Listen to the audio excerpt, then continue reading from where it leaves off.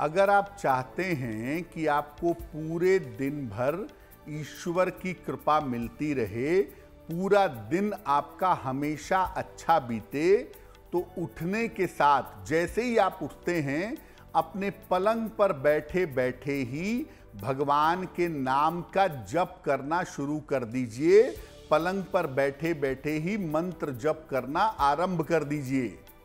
जो भी मंत्र आप जपते हैं, नमः शिवाय जपते हैं राधा का मंत्र जपते हैं, कृष्ण का मंत्र जपते हैं, जिसका भी मंत्र आप जपते हैं, पलंग पे बैठे बैठे ही उठने के साथ पहले दो चार मिनट मंत्र जपिए, उसके बाद अपना पैर पलंग से नीचे उतारिएगा, दिन भर ईश्वर की कृपा आपके ऊपर बनी रहे।